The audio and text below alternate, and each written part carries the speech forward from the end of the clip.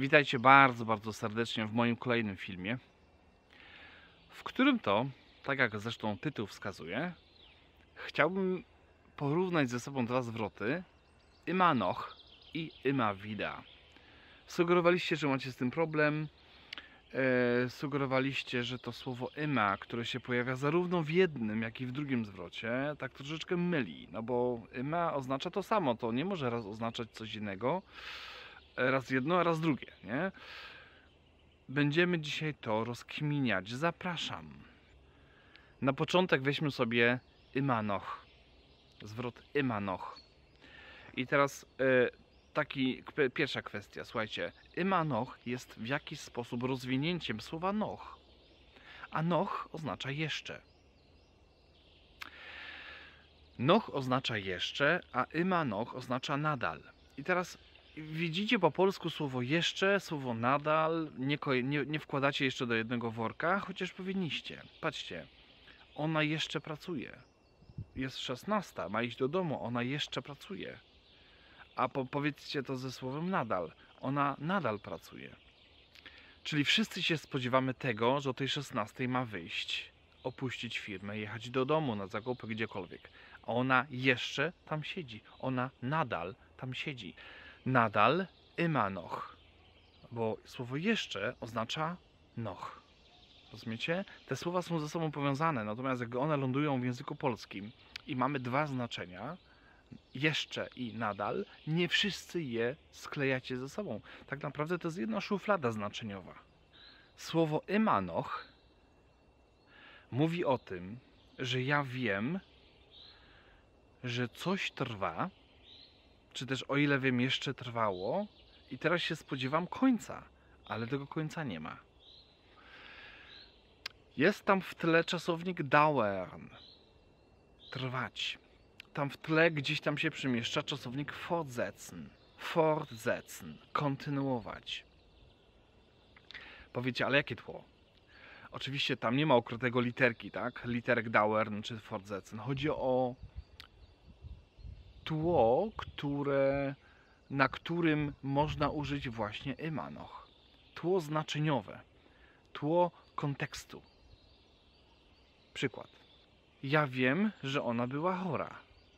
Ich weiß, dass sie krank war. Ich weiß, dass sie krank war. Nie?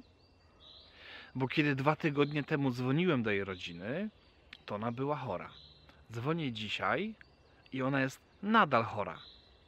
Czyli wiedząc, mając tą wiedzę, że ona była chora, sie war krank, mówię, ona nadal jest chora. Sie ist krank immer noch. Sie ist krank immer noch. To immer noch mówi nam o tym, że wiedziałem o tym, że ona jest chora i teraz jest decyzja, czy to trwa, czy się skończyło. Okazuje się, że trwa. Dlatego dałem w kontekście dauert. Czujecie to? Dlatego dałem w kontekście, w tym tle czasownik forsetzen, ponieważ kontynuować ta, ta no, no, co do choroby to nie, nie pasuje tutaj, ale trwa kontynuacja tej choroby. Dlatego akcentuję to słowem emanoch. O ile wiem, ona pracowała w Niemczech. Bo spotkałem jej matkę tydzień temu, no, może nie, miesiąc temu, dwa miesiące temu, rozmawiałem z moją matką jeszcze raz. Rozmawiałem z jej matką jej matka powiedziała, sie arbeitet in Deutschland. I to było vor zwei Monaten. To było dwa miesiące temu. Dzisiaj do matki dzwonię i się pytam, wo ist Julia? Bo o Julię chodzi. A matka mówi, ona nadal pracuje w Niemczech. Sie arbeitet in Deutschland immer noch. Czujecie? Wiedząc o tym, że ona dwa miesiące pracowała temu, dwa miesiące temu pracowała w Niemczech, Dzisiaj dowiaduje się, że to trwa. W tle czasownik dauert. Dauern. Nie? Sie arbeitet immer noch in Deutschland. Mieszkam za granicą. I rok temu byłem w Polsce i dowiedziałem się, że moja, e, moja koleżanka z klasy, do, którego, do której chodziłem, chodziliśmy wspólnie, jest, została dyrektorką szkoły. Sie wurde eine Schuldirektorin. I dzisiaj, po roku czasu, moi znajomi, moja rodzina mówi Sie ist immer noch eine Schuldirektorin. Immer noch. Ona nadal jest tą dyrektorką. Czyli to, co się dowiedziałeś rok temu, to trwa. Ta wiedza jest aktualna. Ta jej praca jako dyrektorka nadal trwa. Also sie ist eine Schuldirektorin immer noch. Immer noch. Nadal. Jest tąpnięcie ekonomiczne w, na świecie i dora, dolar spada. Jej, jego kurs spada. Der do, dolar fällt. I teraz mija tydzień, dwa, trzy, trzeci tydzień kryzysu gospodarczego, ekonomicznego. Nie życzmy sobie tego w żaden sposób. I co się okazuje? Der Dollar fällt immer noch. Nadal spada. Czyli porównuję to z tą wiedzą, którą mam sprzed dwóch, trzech tygodni, kiedy on zaczął spadać. I ten kurs opada cały czas. Nadal to trwa. Jeszcze. Immer noch. Wczoraj wieczorem zaczęło padać. Gestern Abend hat es, hat es begonnen zu regnen. A dzisiaj rano otwieracie oczy, podchodzicie do okna, okazuje się, że nadal pada. Pada nadal. Es regnet immer noch. Immer noch, czyli nadal w kontekście tego, że to się zaczęło i ja wiedziałem, że się zaczęło. I dzisiaj niestety to trwa. Immer noch. Sie es regnet immer noch. Następny przykład. Rodzina miała przyjechać na święta. I mieli przyjechać w Wielki Piątek. O 12. Nie ma ich. Sie sind nicht da. Mijają 2-3 godziny, a ich nadal nie ma. Sie sind immer noch nicht da. Sie sind immer noch nicht da. Tomek miał skończyć projekt. Tomek soll mit einem Projekt fertig sein. Soll mit einem Projekt fertig sein. I szef się go pyta o 9 rano. Bist du fertig? Nein. O 10, um 10 Uhr. Bist du fertig? Nein, mówi Tomek. Ich bin nicht fertig. Ja nadal nie jestem gotowy. Ich bin immer noch nicht fertig. Immer noch bin ich nicht fertig. A szef go dopytuje, bist du immer noch nicht fertig? Nadal nie jesteś, y, nie skończyłeś? Czyli pytałem cię godzinę wcześniej. Nie byłeś, y, nie skończyłeś. I ten twój stan nieprzygotowania, nieskończenia trwa nadal. Du bist immer noch nicht fertig. Trzy miesiące temu dowiadywałem się o swoich znajomych i oni wtedy mieszkali jeszcze y, i oni wtedy mieszkali w Szwajcarii. Sie haben damals in der Schweiz gelebt. Sie haben damals in der Schweiz gelebt. Dzisiaj, mijają trzy miesiące, ja się dowiaduję o nich, albo przez znajomych, albo przez rodzinę, i dowiaduję się, że oni nadal mieszkają w Szwajcarii. Sie leben immer noch in der Schweiz. Sie leben immer noch. Immer noch mówi o tym, że ja widziałem, że oni mieszkali w Szwajcarii i to ich ten pobyt, mieszkanie w Szwajcarii trwa nadal. W porównaniu do tej wiedzy sprzed kilku, tyg- kilku miesięcy. Dzieciaki coś zbroiły, a matka, matka była wściekła, wütend. Wściekła. Matka die Mutter war wütend. E, mijają dwie godziny, a problem jest taki, że matka jest nadal wściekła. Die Mutter ist immer noch wütend. Immer noch. Nadal. Immer noch, powtarzam jak mantrę, odnosi się do wiedzy, którą mam. Do tego, czyli do tego, że matka była wściekła dwie godziny temu i ta wściekłość jej nadal trwa. Nie odpuściła sobie. Nie wiem, zapętliła się w swoich myślach, jest nadal wściekła. Jest immer noch wütend, nie? Czyli immer noch pojawia się wtedy, gdy my coś wiemy. Gdy my coś wiemy, wtedy pada immer noch. Bo immer noch stosunkuje nas do tego, co my wiemy, jaką wiedzę posiadamy już. Nie? Do, wcześniej, do wcześniejszych informacji. I ostatni przykład z immer noch. Ktoś wyjechał za granicę w podróż i nie odzywa się. Er sich nicht. Nie odzywa się, nie daje znaku życia. My nadal nie mamy od niego żadnej wiadomości. Wir haben von ihm immer noch keine Nachricht. Wir haben von ihm immer noch keine Nachricht. Nadal nie mamy. Czyli nie mieliśmy Wir hatten keine Nachricht. Nie mieliśmy tydzień temu, dwa dni temu, trzy dni temu i dzisiaj nadal nie mamy. Heute haben wir immer noch keine. Ok? Na tym polega immer noch.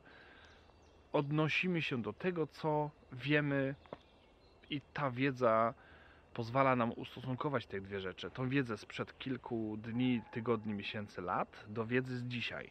I to nadal trwa. Ona nadal tam pracuje. Ona nadal jest Tomkiem. On, oni nadal mieszkają w Niemczech. Oni nadal pracują w Lidlu. Nadal. Czyli to, co wiemy, że pracowali, to trwa. Ok? Jasne? Natomiast immer wieder oznacza bez przerwy, nieustannie, ciągle. Ten zwrot mówi o częstotliwości, że coś co chwila się pojawia, ktoś non-stop coś robi, ciągle coś robi, nieustannie coś robi, nie odpuszcza sobie. Tak jakby ktoś codziennie przychodził tam w sprawie pracy, na przykład do jakiegoś szefa i codziennie przychodził i ja chcę się spotkać z szefem, bo chcę rozmawiać. Er macht das immer wieder.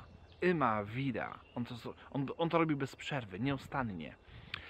Immer wieder mówi o częstotliwości jakiegoś wydarzenia. Przykłady. Jest jakiś typek, poznaliśmy, sympatyczny chłopak, ale trochę nie ten teges. W sensie dzwoni do nas codziennie. Dostał numer telefonu, da, daliśmy mu, żeby było miło, żeby nie tego, ale to był błąd. On nieustannie do nas dzwoni. On bez przerwy do nas dzwoni. To jego dzwonienie jest po prostu tak częste, dlatego w, w tle znaczeniowym pojawia się tutaj przymiotnik oft. Czyli zdanie on, on bez przerwy do nas dzwoni. Er ruft uns immer wieder an. Er ruft uns immer wieder. Wiemy, wiemy że oczywiście, że słowo wieder oznacza znowu. I skojarzcie sobie, wieder znowu, czyli on dzwoni o 16, o 17 znowu dzwoni, o 18 znowu, znowu dzwoni, o 19 wida, po następnego dnia o 7 wida, o 8 wida, ima wida, zawsze znowu, bez przerwy. Nie? Czyli możecie, y, patrzycie na telefon, ja pierdzielę, znowu dzwoni. Wida.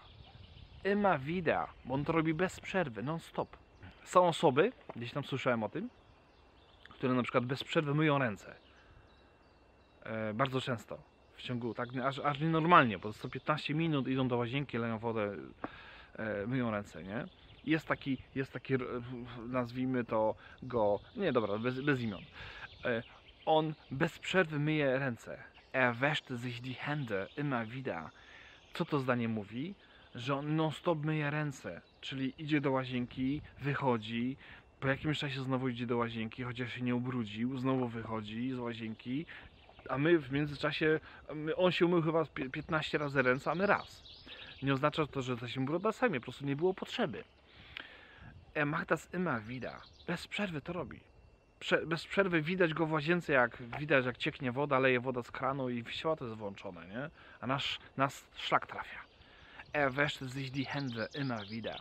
Następny przykład, myślę, że pff, mamy wśród takich, może sami jesteśmy. E, chodzi o komórkę.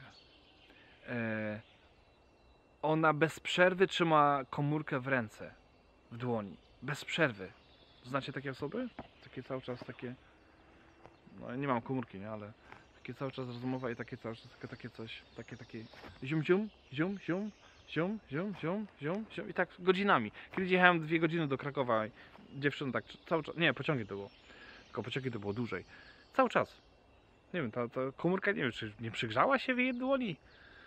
Ach, dziwne to jest po prostu, dziwne. I przykład, ona bez przerwy patrzy na komórkę.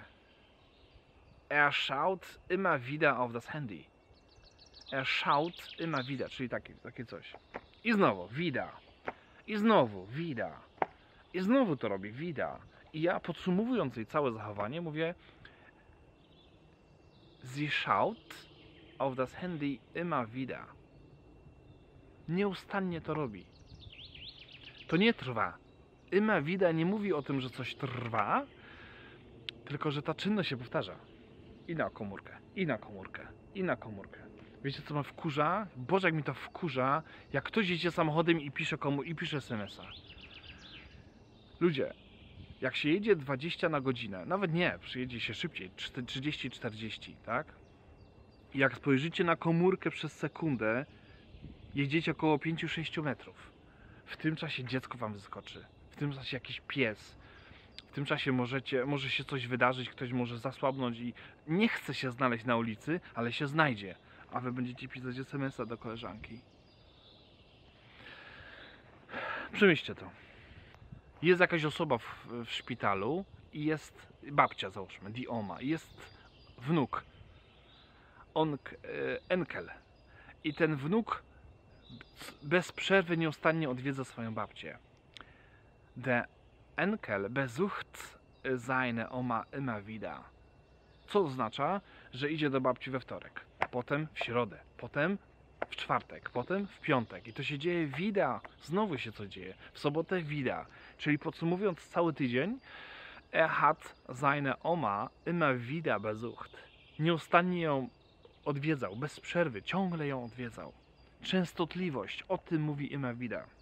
I ostatni przykład są dziadkowie, którzy na przykład opowiadają cały czas te same historie. Der Opa erzählt immer wieder die gleichen Geschichten. Opowiada cały czas te same historie. Wiecie, są takie osoby, no, no nie, że krytykuję, ale czasami jest tak, nie? Immer wieder erzählt die Geschichten. Immer wieder, bez przerwy. Czyli w sobotę widzimy się z nim, opowiadam historię. Po tygodniu opowiada tą samą historię. Po roku czasu opowiada ten sam dowcip. Nie? Znacie takie osoby, które opowiadają te same dowcipy cały czas? Ach. Po pięt- 15 razie naprawdę to już ten kotlet już nawet nie jest smaczny, nie? Immer wieder. Fre- frekwencja, częstotliwość, o tym mówi ta zwrot. To wszystko na dzisiaj. Bardzo Wam dziękuję. Treść tego vlogu możecie znaleźć w podsumowaniu w PDF-ach, w podsumowaniu w aplikacji Ponsa. Wszystkie szczegóły znajdziecie pod filmem. Dziękuję Wam bardzo. Trzymajcie się. Na razie. Cześć.